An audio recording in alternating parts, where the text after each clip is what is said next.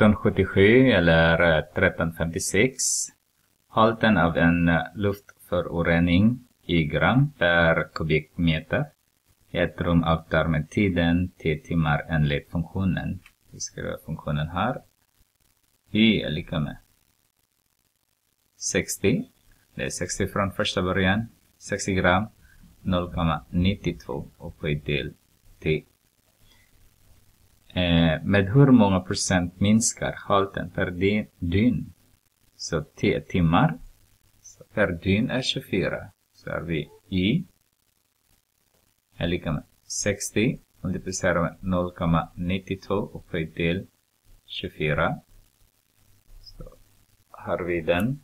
Jag ska använda räkning. Jag ta fram miniräknaren här igen.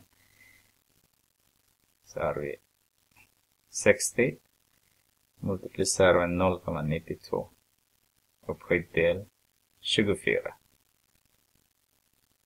Så har vi 8,11 gram nu då. Cirka 8 gram. Kvar. Efter ett dygn. Men är frågan är hur många procent minskar halten som vi har från första början. 60. Så har vi 8. 60. Då har vi dividerat det med 60. Då har vi bara 0,135 kvar, eller 13,5 kvar. Cirka 13,5 procent kvar. Det här är som är kvar. Så har vi 100 procent. Subtraherar med 13,5 procent. Då har vi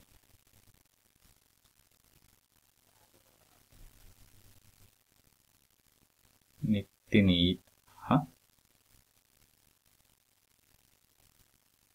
Har vi 100 minus 13,5. Så har vi 86